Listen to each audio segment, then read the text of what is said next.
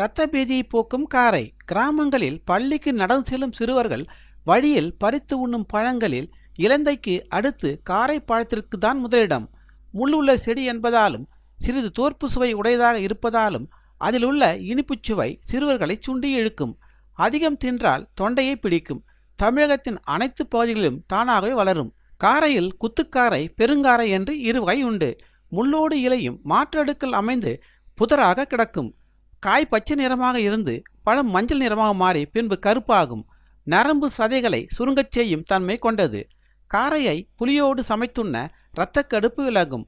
பழத்தை உடைத்து விதையை நீக்கி காய வைத்து அதை ஒரு லிட்டர் தண்ணீரில் போட்டு இரவில் ஊற வைத்து நாள்தோறும் காலை மாலை குடித்து வந்தால் கழிச்சல் சீதக்கடுப்பு குணமாகும்.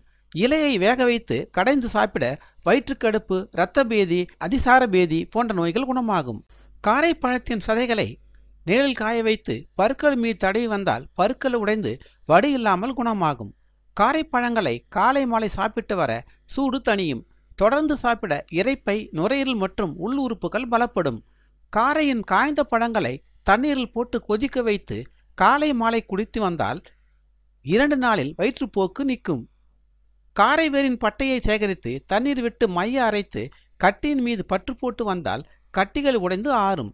காரைவேரை சூரணம் செய்து அதில் ஐந்து கிராம் எடுத்து ஓமத்தை குடிநீர் செய்து அந்த குடிநீரில் சூரணத்தை போட்டு ஊற வைத்து மறுநாள் வடிகட்டி குடித்து வந்தால் முப்பினியான வாத பித்த கபத்தை சமப்படுத்தும்.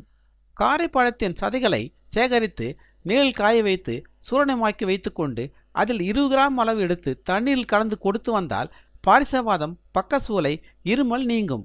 அடிக்கடி மூர்ச்சையாகி கீழே விழுபவர்கள் இதை உண்டு வந்தால் குணம் ஏற்படும். குருதிப்போக்கையும் கழிச்சலையும் நீக்கும்.